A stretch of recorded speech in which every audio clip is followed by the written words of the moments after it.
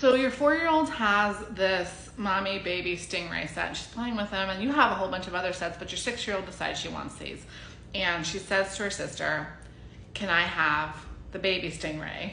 And sister says no. Okay.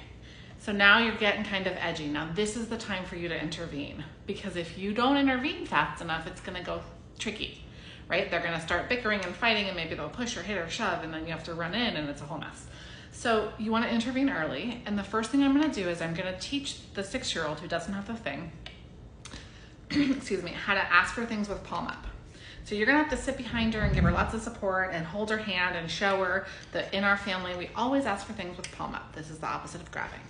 Okay, so now I've taught that skill. She's still gonna have a hard time with it because she just learned it. Um, and maybe she asks sister again and she asks with her palm up and I am right there giving this six-year-old so much positive reinforcement for doing the thing that I just taught her, which was ask for the thing with palm up. Now four-year-old is probably still gonna stay, say, no, I'm not gonna give it to you.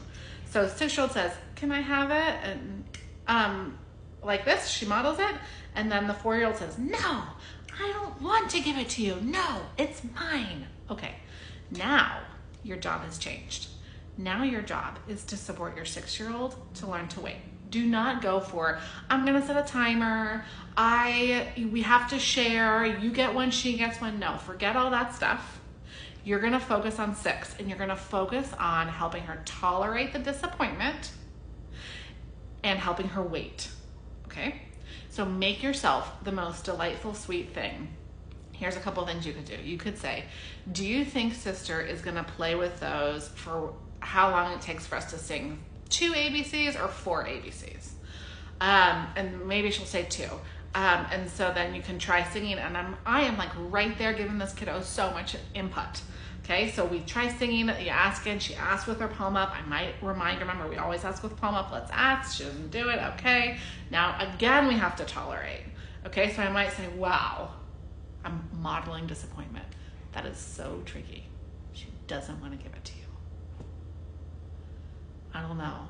We could try running around the house four times, or we could try I don't know, something sweet, maybe like going to bake muffins or something. So I'm making myself the thing that she wants to be with. It could even just be bouncing up and down on my leg or spinning her around or something. So part of what I'm doing is highlighting the relationship. So my four year old who has the two coveted toys wants to come into engagement with me. Eventually she's gonna come over and she's gonna leave these behind and then I have to continue the connection. Now if six year old goes and picks these up and then four year old is having a meltdown, now it's my turn to do that exact same thing with my four year old. It's work.